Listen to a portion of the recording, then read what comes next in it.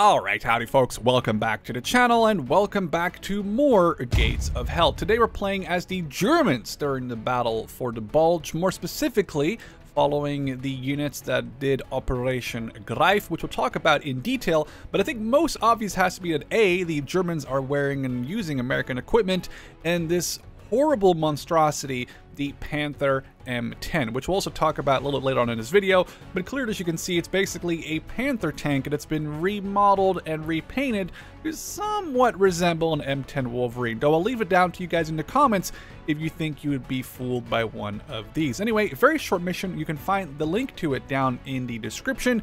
We're going to be playing as the Germans, we just came on to this American checkpoint behind the lines. Our goal is to get past here and destroy an enemy armored column as well as some US artillery behind their lines.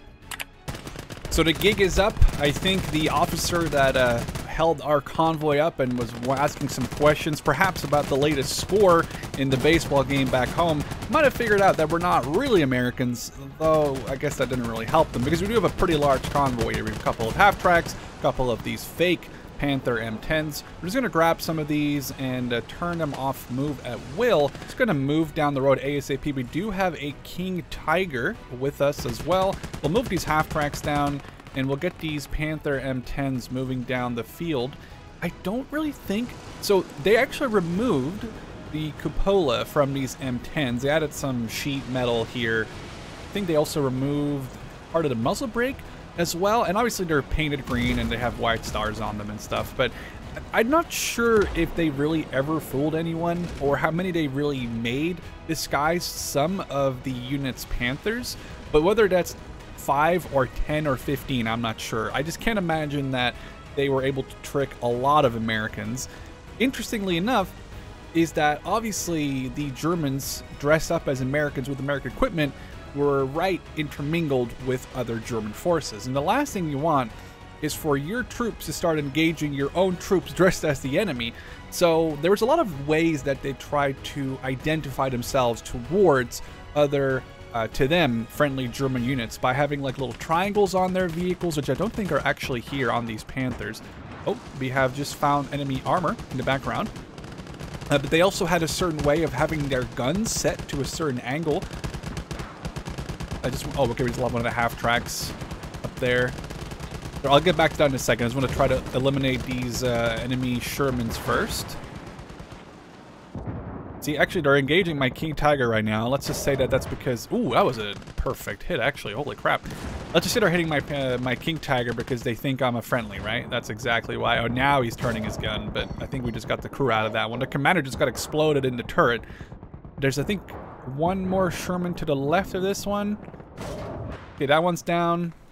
And, oh, we have an M18 way behind us, but we'll walk, we'll worry about him in a second. Try to get some of my, oh, let's get our Chaffee maybe onto that. As we run some of our infantry forward here. They're mostly on move at will, which is not a thing I'm a huge fan of personally, but but it's a cool flag on the back there, like an air identifier. Not that we really need the air identifier because of the horrible weather, that would obviously be the reason why there couldn't be any American air support, at least not initially. It's not got this. Is it just a small AT gun? It kind of makes me feel bad because this Tank King Tiger is just about yeah, blast him. What is? What are these? They're just little 37 mils, or what? Is that even just a? Oh, that's just actually just a machine gun. Okay, let's have a Chaffee deal. Does Hellcat? But basically, what they did was having a little triangle in the back of the uh, allied vehicles, whether they were the captured ones um, or these like Panther M10s. They would also have their gun always pointing at a 9 o'clock position to try and hopefully, uh, you know, oh, what? I, I didn't know that was possible. I think we just shot the Hellcat straight. How did that happen? This is just a little tiny but this is technically a 75 millimeter gun, but how did he just destroy the Hellcat? The turret just went clean off. That was in the middle of talking about the 9 o'clock position thing. I can't even get that through. So basically, they would always have their guns pointed at the 9 o'clock position while they were driving in convoy. Uh, that way, hopefully, letting friendly German units know, like, hey, this is a very specific American vehicle. Other than that, they wore like a pink or blue scarves. They would sometimes have no helmets on or try to take them off at least while they were, you know, amongst friendly units.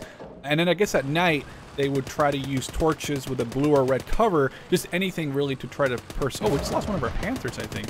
Try to persuade friendly German units that, hey, this is not an actual enemy tank. Even though, I, again, I'm wondering how, to what degree people, both Germans or, um, I guess Americans, would actually be tricked by the, uh, you know, the Panther M10 specifically. We do have a bunch of infantry back here I'll bring up. And we'll probably bring some infantry over here as well and try to really go after that church area because we just have to clear the front line. Well, technically, we came from behind the front line and our job is just to do some cleanup here.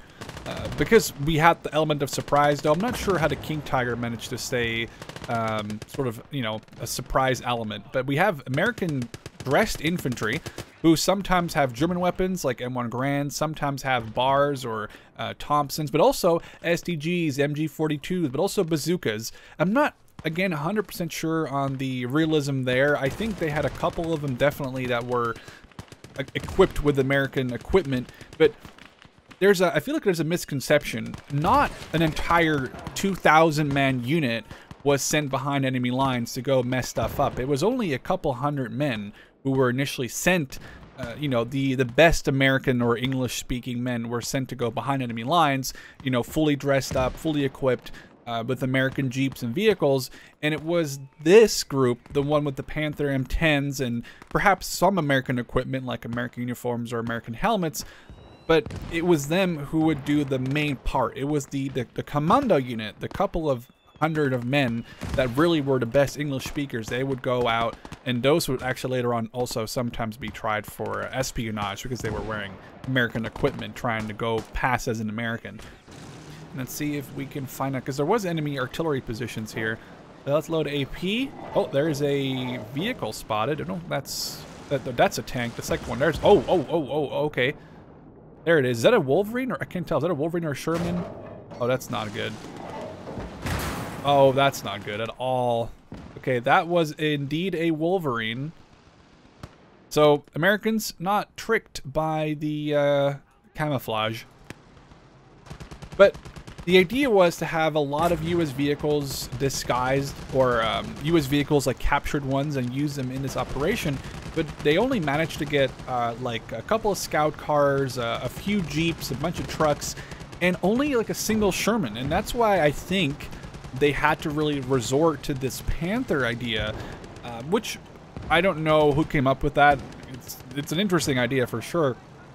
But they had to come up with the Panther idea because they didn't have enough armor to go along with the um, the convoys otherwise. I mean, you can't really go behind enemy lines and just rely on, on infantry and light vehicles. So they had to try to get some of these Panthers to come along to take the place of any Shermans that they couldn't, uh, you know, couldn't use. So it's interesting is if they were able to, or if they wanted to make these Panthers look like Wolverines, I'm surprised they didn't actually manage to capture even a single Wolverine and, you know, put that into use. It was definitely apparently easier to use a, uh, a captured or a, a panther and dress it up as a Wolverine and to actually have a, uh, a captured Wolverine. So I guess they just never captured many of those. We have a Panzerfaust here somewhere. Oh, this one just got set on fire. Maybe we'll just keep running here a good bit. Uh, keep running up. We'll get our Tiger 2 to advance. And this M10 is basically good to go here in a second. I really would love to get a nice Panzerfaust rocket on this Sherman, though. Oh, that's so satisfying. And then I think it's just a little bit of enemy resistance left. We'll blow up the Sherman here. Nice side shot with the 88. I'm actually surprised that didn't just explode in a thousand pieces. It is confusing seeing a bunch of Americans running around and not knowing which one of the Americans is you and which one of the Americans is, well, the Americans, but... Someone in there? Oh, there was. Okay, there was two guys in there. Okay, let's check out... Oh, it is burning up now. Don't want to get too much into that fire. But I think if we turn off the fog of war, which is Alt-F... Okay, there's a single man left alive back here. So we can go knock him out. And then, eh, I think we did all right. The I sh probably should have disabled all of the uh, move at will on the vehicles. because that kind of ruined some of my uh, my initial units. So these Panthers I put out here myself. They're technically, this one's more damage. This one is technically pretty repairable, but it is cool to see that somebody modeled all these units and uh, and sort of specific units into Gates of Hell. And uh, it's always fun to just do a little random scenario. In this case, you know, the Germans doing the uh, Operation Greif. And uh, it's very cool to see something like the Ersatz M10 here in uh, in Gates of Hell. Something that I just, I think I saw first in World of Tanks. And then I did more research on it, and then ever since then I've always had a little bit of a soft spot for the uh, the Panther M10 specifically, just because it's such a random vehicle. Well, it's gonna make sure we knock out this last enemy soldier. I almost said last enemy American, implying that we're playing as the good American. So technically, I guess we are playing as... Oh, that was a headshot. I guess technically I just grabbed the German to kill that guy with. But it's it, I can see how it would be confusing. You're a bunch of Germans and you're attacking and suddenly there's a bunch of Americans around you, but they're also allied, so who do you shoot, who you don't shoot? Anyways, hope you guys enjoyed this video, and I can't wait to see you in the next one.